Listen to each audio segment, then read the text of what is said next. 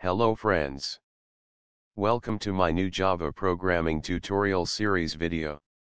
Today, I will teach you, how to use combo box in Java, using Swing API. Let's move ahead to NetBeans IDE and see how this concept works. Friends. In order to demonstrate working of JCombo box, let's create a Java class. In Swing Tutorials Java project. Let's create a Java main class. Provide a name to it as, Combo Box Demo. Keep it in a package as com.hubberspot. Swing. Combo box. Click Finish. It creates a class by name, Combo Box Demo, having a main method. In order to create a combo box list, let's create an array of string. This array of string will hold names of programming languages. Let's assign few programming languages names to it, such as Java, C++, C Sharp,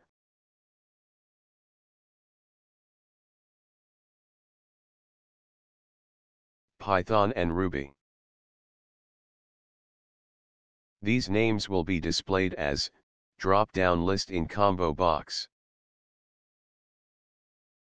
Using JText field class, Let's create a text field that will display heading for this demo. In the constructor of JText field, we pass string, that will be text for it. Let's provide text field value as top programming languages. Moving ahead.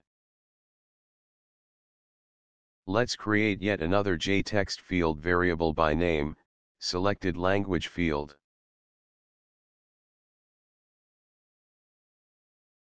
Let's provide this JText field, with a width of 15 columns. This text field will display selected value of programming language, that user will select. We will see it later. Let's create a JCombo box that will demonstrate actual working of combo box. Provide this variable name as box of languages, as it will hold names of languages, that we created above as in string array.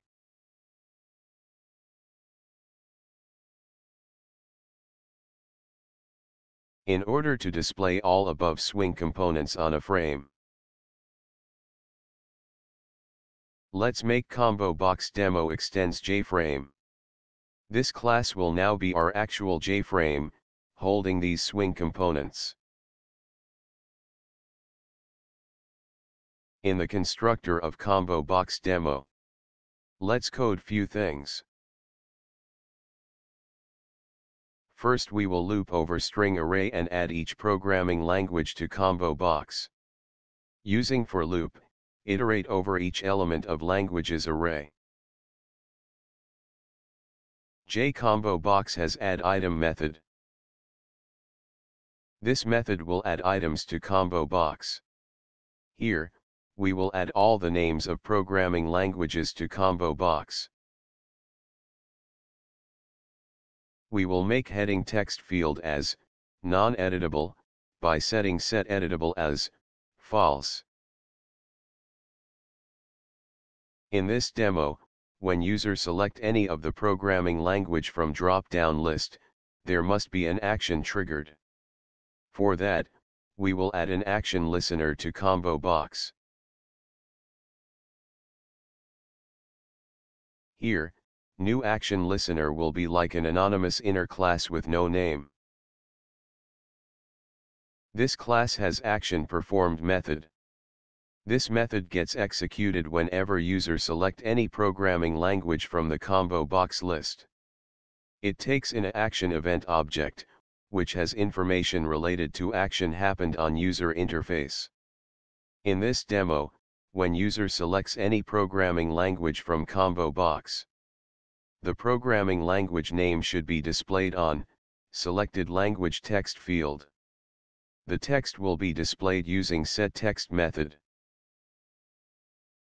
We display text as you selected, and name of programming language user selected. In order to get name of selected combo box language, we need combo box object. Event object has method by name, get source. It returns an object on which action has been performed. In our case, object is JCombo box. We will typecast object back to JCombo box. After getting back object of JCombo box, we will call its getSelectedItem method. This method will return value of selected item.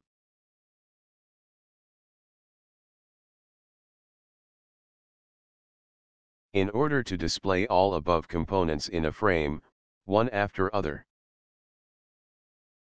we will set layout to flow layout.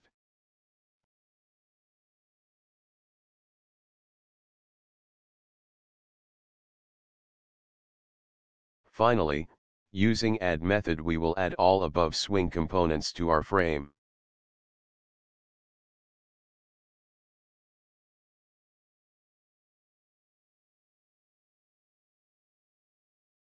Thus, when this constructor will be called, it will create a JFrame with all above components displayed on it.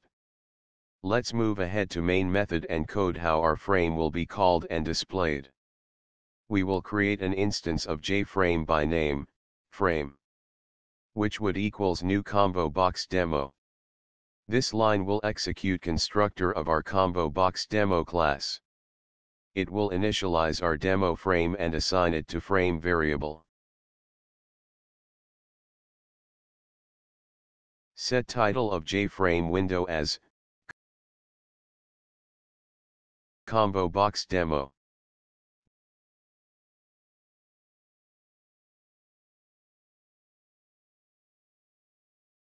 we set default close operation of JFrame window as exit on close. It makes JFrame window exit, when we close the window. Using set size method, we will set width and height of our JFrame window. Here, we set width as 300 and height as 200 pixels. Finally, in order to make this frame visible to us. We call setVisible method and pass value as true. This method actually makes frame visible to us. Let's run this Java class. You can see it displays a JFrame window. With size as 300 by 200 pixels. It has a title as Combo Box Demo. It also has a non-editable text field, with a value as Top Programming Languages.